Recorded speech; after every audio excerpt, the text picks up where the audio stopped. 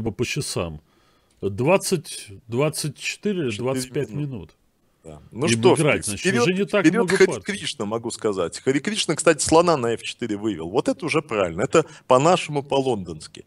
А, ну, так. тоже может быть. Но, ну, с вот, другой стороны, Хикару там наловчился. Он все-таки с Гатой немало партий сыграл.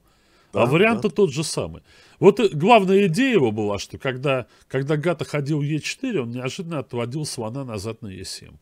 Да, это известный вариант, уже много да. партий на эту тему да, было. Да, вот это хитрый его прием такой был.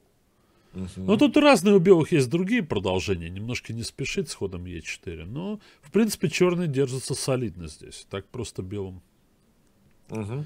перевеса здесь не достичь. Ну, наверное, возникает вопрос, а почему в конь Е5 не пойти? Тоже возможный вариант, нормально. Конь Е5, вот альтернатива. Конь Е5, F4, слон H4. Так, размен на G3. Ну, тогда вот один раз Сережа Корякин попробовал так вот играть против, против Адамса, да, и получилось очень плохо. Но, правда, он явно там палку перегнул. Он... Да, это вот было интересно, в, что Хари Кришна сдал центр, провел Е4, а, ну, чтобы никаких изоляторов не было. Но теперь хочет нечто, нечто висячее сделать у соперника. Хочет ну, просто взять на d5, я думаю, где-то c4, может быть, сыграть. Ну, может быть, так, а... Ну да, ну, может, может быть, еще как-то он дождется, когда ферзь уйдет с d8, и все-таки e5 и конь g5. Но пока это сразу не получается, может быть, не получается, потому что черные возьмут, возьмут на e5, успеют взять на e5. Потому что, в принципе, против этого коня g6. Конечно, вот конь g5 и потом e5 было бы шикарная стратегия.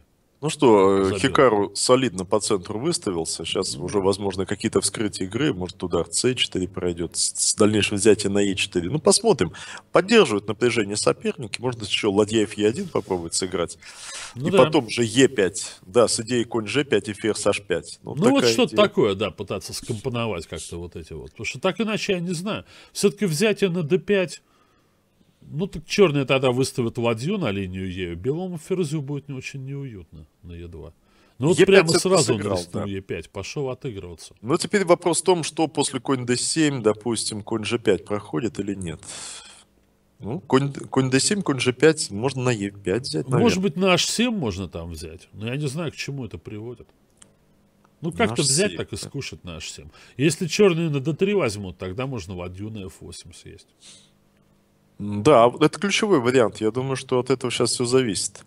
Потому что на А, С4 играет позиционно. Играет ну, позиционно. Может быть, эта идея конь G5 остается в силе. Может быть, может быть и правильно он сыграл. Но правда, вот что же сейчас? Е4, ладья Е1. Ну, пешка Нет, Е5 держится, да, да, да, посмотрим. Но все-таки конь, конь G5, я боюсь, не состоится. Потому что в этом варианте, если мы вернемся к тому, что мы рассматривали, конь G5 и потом конь бьет Е5, а это вообще Вообще. Все, от, пешка на 6 стала, пешка на 6 Ну, а это Петросяновские известные идеи, бить пешкой F э, в подобных структурах. Неважно даже, что пешка на H7 или на H6, потому что, чтобы открыть линию F, это известная идея и уже очень много лет. И применяется в различных вариантах там славянской защиты. Может быть, белым разменять белопольных слонов, слон Е4, чтобы ферзь на G4 мог перескочить. Может быть, пешку G4 как, G3 как-то рано использовать. Сразу G4 не идет из-за коня F4. Да.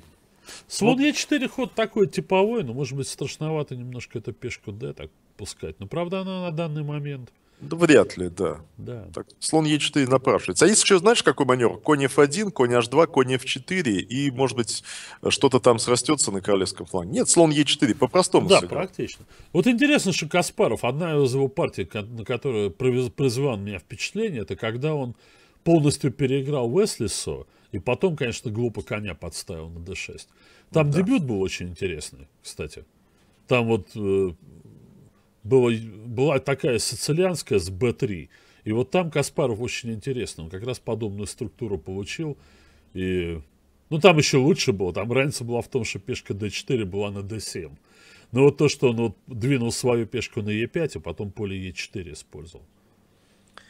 Так, что А2. же у нас происходит? Напал на пешку А2, вроде бы пустяк, но может быть и не пустяк. Ну, может быть вернуться спокойно ферзем на С2, на Б1, а потом все-таки, да. Так он и делает э, Пентала. И теперь вот надо с конем на d2 что-то решать. А, напал на Е5. Ну, видимо, повторение, повторение ходов. Повторение это... ходов. Да, да, повторение ходов. А вот он, нет, невероятно практичный шахматист, да? Ну, а, собственно, зачем, да, зачем рисковать здесь? Видимо, стоячая структура, если позволить белым э, еще перестроиться, может быть, и похуже стало бы, ну, наверное, на ничью согласен. Хикару. Ну, пока они тут думают, вот пара вопросов. Я наблюдаю, кстати, вот здесь вот вопросы. Ну, хорошо, впечатление от игры Вали Гуниной в последнем гран-при. Ни одной партии не видел, но, честно говоря, собираюсь посмотреть. А я видел, она играет в своем ключе, рискует, перегибает палку. Она э, э, боевик, шахматный боевик. Вот э, представляете себе, боевика, гранатомет за плечом и ничего не боится, абсолютно. То есть у Вали э, как раз отсутствует инстинкт